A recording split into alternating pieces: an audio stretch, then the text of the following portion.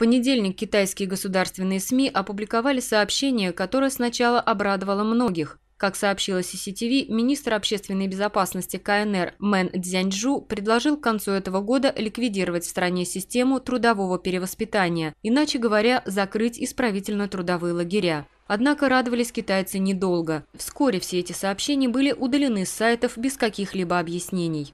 Вместо этого Синьхуа опубликовала новое сообщение о том, что систему планируют реформировать. О закрытии речи не шло. О том, какого типа будут реформы, в статье не говорится.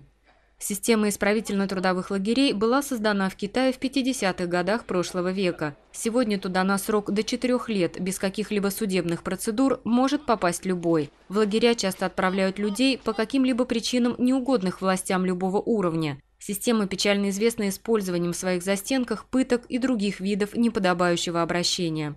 По данным Синьхуа, сегодня в Китае насчитывается 350 лагерей. В них содержат около 160 тысяч заключенных. У правозащитников другие цифры. В их отчетах говорится, что в данное время в китайских лагерях принудительного труда сидят от 200 тысяч до 2 миллионов человек.